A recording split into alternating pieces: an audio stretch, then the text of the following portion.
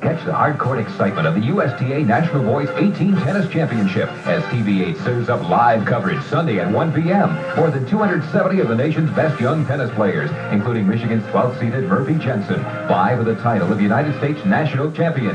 Join TV8's Warren Reynolds and junior coach Ian Harris, along with TV8's Glenn Eckelkamp, for complete live coverage. The USTA National Boys 18 Tennis Championship, live from Kalamazoo College, Sunday at 1 p.m. only on TV8.